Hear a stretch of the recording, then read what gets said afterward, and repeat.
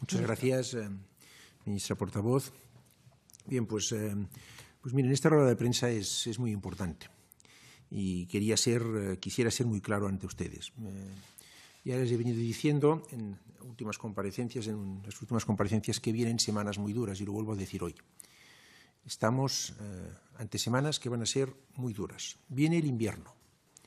La segunda ola ya no es una amenaza, es una realidad en toda Europa.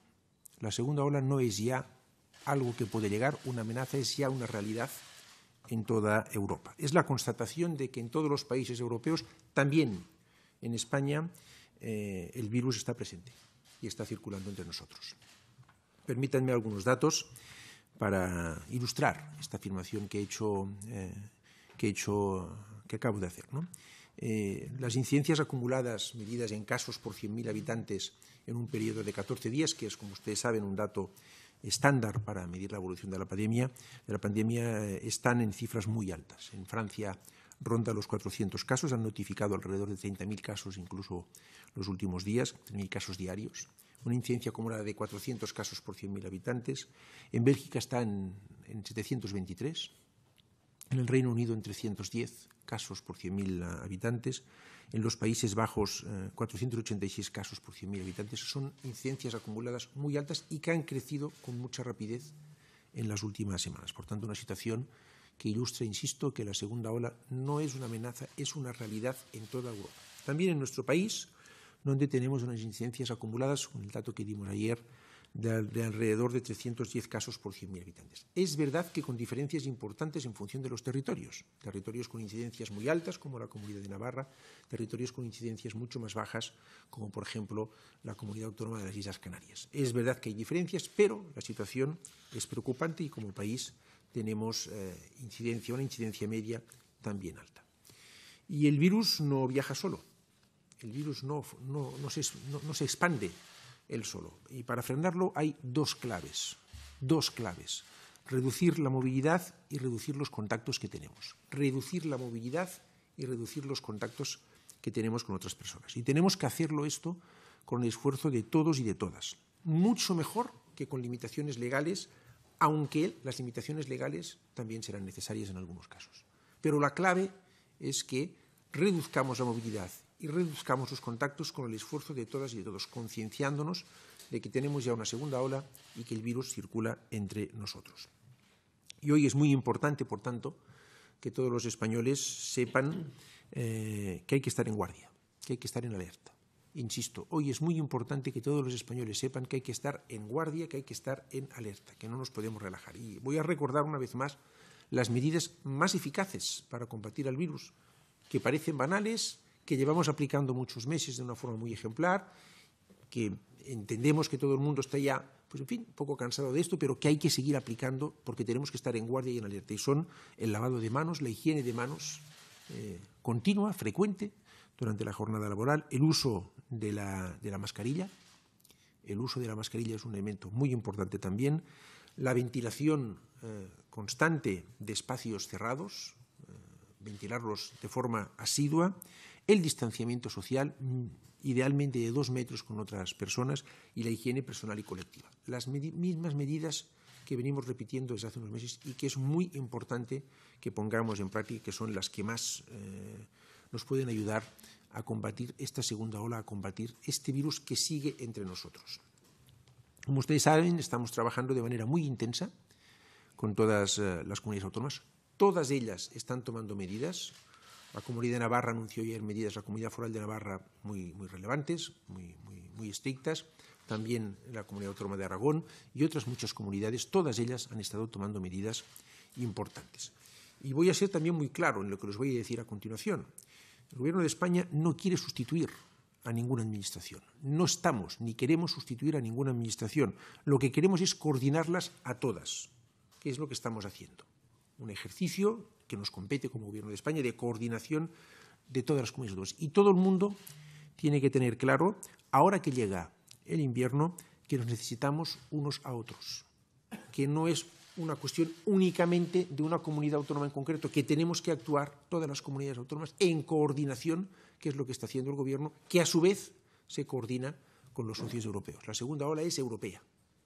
también en España, pero es europea, está en toda Europa.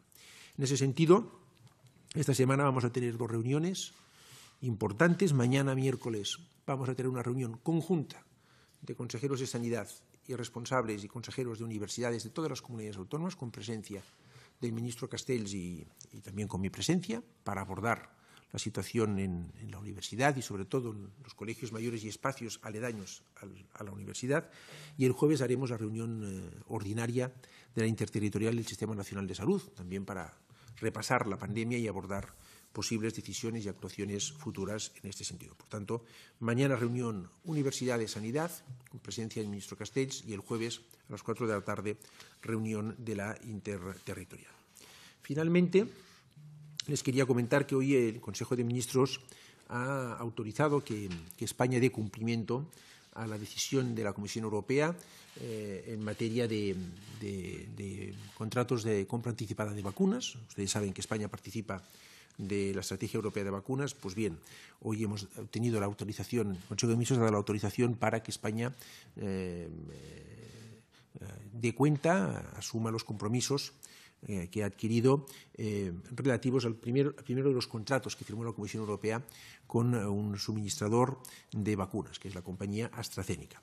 Eh, es un contrato para adquirir 300 millones de dosis para el conjunto de Europa, de los cuales corresponderían a nuestro país 31.555.469 dosis. Eh, las recibiríamos entre los meses de diciembre, las recibiremos entre los meses de diciembre y junio del año que viene eh, en concreto el mes de diciembre está previsto, si no hay ningún retraso, que recibamos 3.155.547 dosis y progresivamente hasta el mes de junio hasta los 31 millones de dosis, 31 millones y medio de dosis que recibiríamos. Eh, es una vacuna en principio a doble dosis, por tanto, esos 31 millones de dosis servirían para inmunizar, si supera la vacuna, todos los filtros de análisis clínicos que están en estos momentos realizándose a unos 15 millones de conciudadanos. Tiene un precio la vacuna de 2,90 euros por dosis, de los cuales 1,12 euros eh, son abonados pagados a, cargo del, fondo ESI, eh, un fondo de, apoyo de emergencias de la Unión Europea, de la Comisión Europea, y eh, el resto, unos 78 euros por dosis, van a cargo de los Estados miembros. Puede haber un incremento de coste de un 20%, siempre que sea justificado y previa auditoría de las autoridades sanitarias europeas y, evidentemente, si eh, la vacuna no superase los ensayos clínicos, pues obviamente la parte que, correspondería pagar a los Estados miembros no sería abonada a esta compañía. En estos momentos esta vacuna está siendo sometida a análisis clínicos en fase 3, en concreto a cuatro de ellos, dos en el Reino Unido, uno en Brasil y uno en Sudáfrica, y está en un proceso de revisión abierta, en, en término técnico inglés es rolling review, por parte de la Agencia Europea de Medicamento. Insisto, si supera los filtros, si tenemos garantías científicas por parte de los técnicos de que es una vacuna, en primer lugar, segura y, en segundo lugar, eficaz, eh, y si no hay retrasos en las cifras que figuran en el contrato que les acabo de decir, pues a partir de diciembre recibiríamos estas dosis. Pongo siempre una nota de precaución porque es muy importante resaltar que no se va a suministrar ninguna vacuna que no eh, supere los requisitos de seguridad y de eficacia que tienen que acreditarnos la Agencia Europea de Medicamentos y, por supuesto, también la Agencia Española de Medicamentos y Productos, y Productos Sanitarios. Por tanto, es una primera autorización que recibimos. Esto, por parte de, nuestro Gobierno, significa un desembolso de algo más de 56 millones de, euros, que si hubiera este incremento que les he comentado de, un 20% podría llegar a un, a, un, a un, precio máximo de 76 millones de euros. Bueno, pues hemos obtenido esta autorización en esta materia. Y eso es lo que quería compartir con ustedes me ponga a disposición en los términos que fije la ministra portavoz para atender sus peticiones.